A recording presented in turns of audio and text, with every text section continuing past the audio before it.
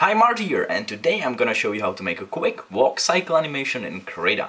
Also, I almost forgot, well, yeah, I've got a different chair because I'm recording this the day after. But I wanted to tell you something that I'm planning on doing stream, live stream, with some kind of collaboration live stream with you guys and you can like join in and we can talk about art and draw art and I don't know, learn more stuff but I'm not sure if anyone would be interested in this. That's I've made the voting poll so you can actually vote if you would be interested in it or not. And if there will be more than 10 people actually interested in this, I will make the stream happen and we can, I don't know, talk about art and learn more stuff. So please vote, link for the poll is under the video and I will check the results in a few weeks and we'll see how it's gonna go. Okay. End of this little vloggy thing and let's go to the video. It's gonna be a super simple animation so everybody can try it. You don't even have to own a tablet, graphic tablet to make this animation and it's gonna be super simple characters so not even any artistic, artistic skills. If you want to see some fundamentals of actually animating in Krita, don't forget to check out my older video when I'm explaining everything about animation in Krita particularly, how onion skins work and how the timeline works and how to create new uh, frames and stuff like this. I'm not covering it in this video particularly because I don't find it that important for this kind of video because there are two separate things. This is more for the people who, who actually started animating in Krita and who, who knows the all fundamentals of animating. So let's start! the first thing you have to do is to create some kind of character and with this one I picked this super easy character, like the most easiest character you can think of and it's just a ball with some legs, you know, so it can actually walk. It's like the easiest thing. Maybe the more, more easy would be to create just one leg, but it wouldn't be walk cycle, it would be just jumping cycle or something. So let's create this character. So first thing I'm gonna do is to create a head. So I'm gonna create a new layer and with ellipse, so ellipse tool, I'm gonna create this head shape. Also in the tool options, don't forget to select uh, the filling color you can select either background color or foreground color or something else. And this will be one of the animation layers. Now I'm gonna uh, repeat the process for left foot and right foot because you know you it's better to have them on separate layers so you can move them around and don't have to redraw them again. So now I'm gonna do the same thing with, with ellipse tool and create two separate layers from left and right foot. Before I started, I've added this little grid to my canvas so I can actually do some kind of perspective in the character. Not that it's that complicated character that would need perspective, but it's kind of nice to have it, you know, so because you are going with two legs and they are kind of in different different layers. So I've added this little grid to help me animate this with little perspective to it. Also, you can find this grid in a brush set pack, and the brush pack is called Concept and Illustration. You can find it on the website of the Krita, in resources I think. I will add the link for this brush pack in the description below, so you can get it. Now I create a new layer and call it Sketch, because uh, I have to do some sketches, you know, some kind of uh, guidelines to show, to kind of help me imagine how the, how the motion will work. So I will create a sketch and now I'm gonna just do a few lines to see how the legs are gonna move, you know, like this. Also, I'm adding, uh, in the sketch layer also I'm adding some kind of like guide positions for my frames where the feet is gonna be at, I know, at some movement, you know, to see how many frames I, I actually need for this animation. The first thing I'm gonna animate is the body, you know, because when you're walking, your body does this kind of movement. It's just to, I know, create some kind of bumpy, bumpy movement so the legs can follow the bumpy movement. So I can see where actually the leg is hitting the ground and stuff like this. just to create another guideline for my animation. Also, I'm trying to play the animation a few times to see if it's working or not, if it's too, I know, shaky or too visible that it's not like motion picture, it's uh, just the frames behind, like just the frames. So I'm just trying to see how it works and continuing the animation. And now let's animate the legs.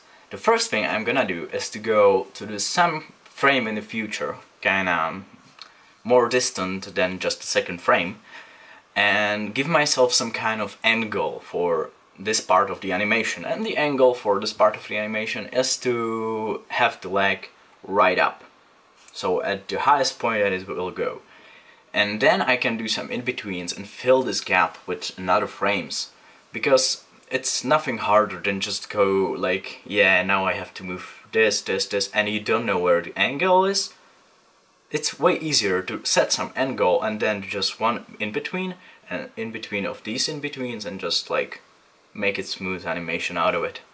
Also, I'm making the second leg as well because if the first legs go up, the second legs go back a bit. You know, because you are moving in the front and the legs are going like this. So the second leg is actually going behind you a bit. As I'm going with the right leg, I also have to animate the, uh, the left leg. And I'm making this super nice smooth movement and trying if it's working. And if it's not working, I would have to just kinda adjust it a bit.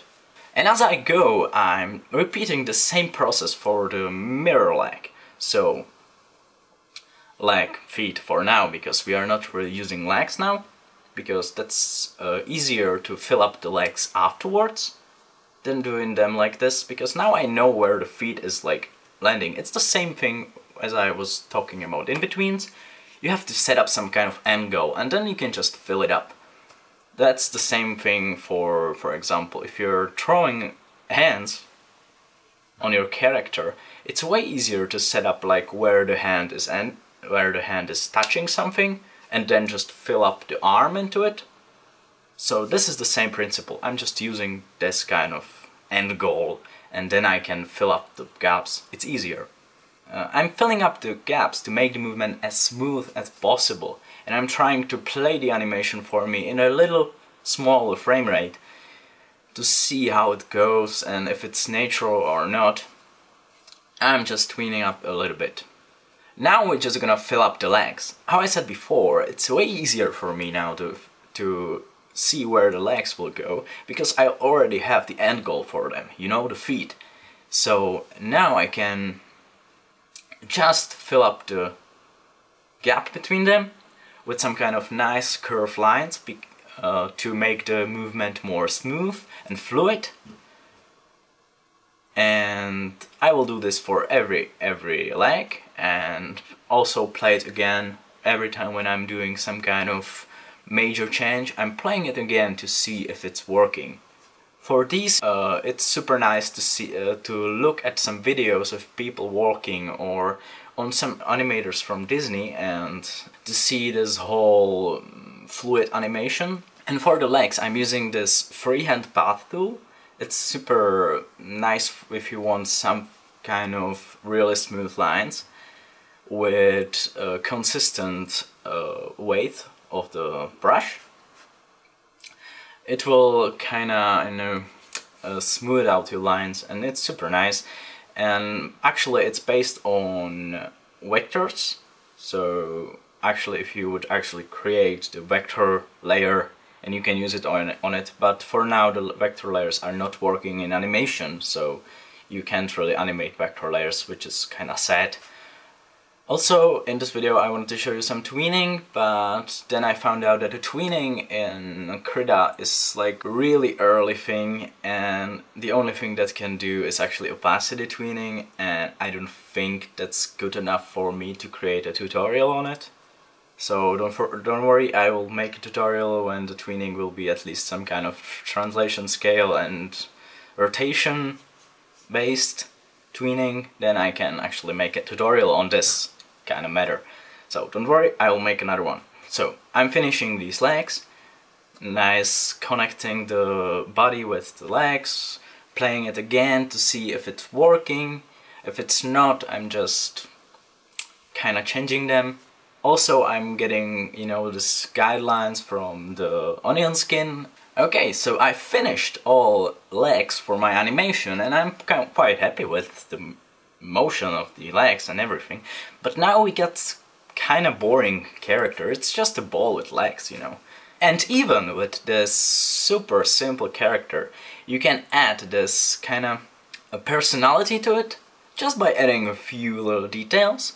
So I'm gonna add this little bumpy thing on his head to make him look, look a little bit more goofy and bouncy. So I'm gonna do this whole process of it and I will just follow the movement of the head, how it's bouncing, and try to make this little antenna bounce with the body to create this nice and smooth movement of it. And it will just flop on each side of his head of the head. So it's not that generic. So, and now when we have like all these things, I would maybe add one little detail to this character, you know, just an eye or something. So I'm gonna create an eye with the ellipse tool again. I will just fill it with white color and then I'll do just a new layer for the eye as well. And just animate it with the body so it goes with the body up and down, up and down. Just really, really simple, just follow the head through all the frames I've made and fill it up with these translations. Now when I'm finished with the eye, I will just have to add the pupil to it. So just create a pupil and with the pupil you can go a little bit crazier. You know, I'm just like making these really big motions with the gravity of the head, how it goes up and down, so it's like following the against the motion to make it look like, you know, that the actual movement of the body is uh, kind of affecting the pupil. And when I'm finished with these, the animation is over and if you got at this to this point, congrats, your first walk cycle animation is over. Okay, I hope you liked this video, thanks for watching and see you next time.